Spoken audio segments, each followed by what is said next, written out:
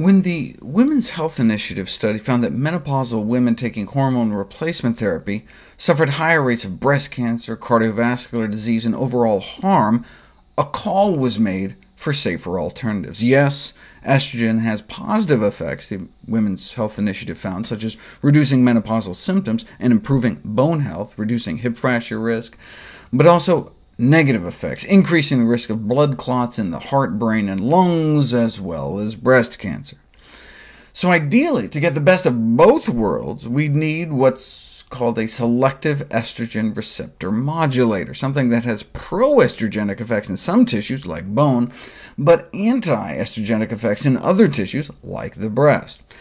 Drug companies are trying to make them, but phytoestrogens Natural compounds in plants like genistein and soybeans that are structurally similar to estrogen appear to function as natural selective estrogen receptor modulators.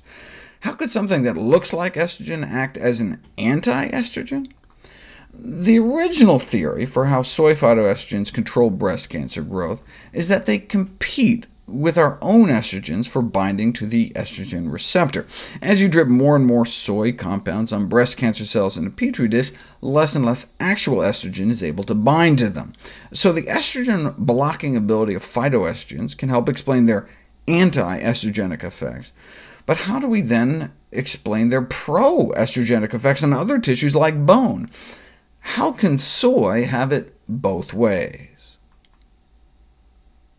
The mystery was solved when we discovered there are two types of estrogen receptors in the body. And so how a target cell responds depends on which type of estrogen receptors they have. This may be the key to understanding the health protective potential of soy phytoestrogens, the existence of this newly discovered estrogen receptor called estrogen receptor beta, to distinguish it from the classic estrogen receptor alpha. And unlike our body's own estrogen, soy phytoestrogens preferentially bind to the beta receptors. If you have people eat about a cup of cooked whole soybeans, with about 8 hours, genistein levels in the blood reach about 20 to 50 nanomoles. That's how much is circulating throughout our body, bathing our cells. About half is bound up to proteins in the blood, so the effective concentration is about half that. So let's see what that means for estrogen receptor activation. This is the graph that explains the mysterious health benefits of soy foods. Down around the effective levels you'd get uh, eating a cup of soybeans, there's very little alpha activation, but lots of beta activation. So now let's look at where each of these receptors are located in the human body. The way estrogen pills increase the risk of fatal blood clots is by causing the liver to dump out all these extra clotting factors. But guess what? The human liver only contains alpha estrogen receptors, not beta receptors, and so maybe if we ate like 30 cups of soybeans a day, that could be a problem. But at the kinds of concentrations one would get with just normal soy consumption, no wonder this is a problem with drug estrogens, but not soy phytoestrogens. The effects on the uterus appear also to be mediated solely by alpha receptors, which is presumably why no negative impact has been seen with soy. So while estrogen-containing drugs may increase the risk of endometrial cancer up to tenfold, phytoestrogen-containing foods are associated with significantly less endometrial cancer. In fact, protective effects for these types of gynecological cancers in general. Women who ate the most soy had 30% less endometrial cancer and appeared to cut their ovarian cancer risk nearly in half. Soy phytoestrogens don't appear to have any effect on the lining of the uterus, but still can dramatically improve menopausal symptoms. Uh, the Kupperman Index is like a compilation of all 11 of the most common menopausal symptoms. In terms of bone health, human bone cells carry beta estrogen receptors, so we might expect soy phytoestrogens to be protective, and indeed they do, seem to significantly increase bone mineral density, consistent with population data suggesting high consumption of soy products is associated with increased bone mass. But can they prevent bone loss over time? soy milk was compared to a transdermal progesterone cream.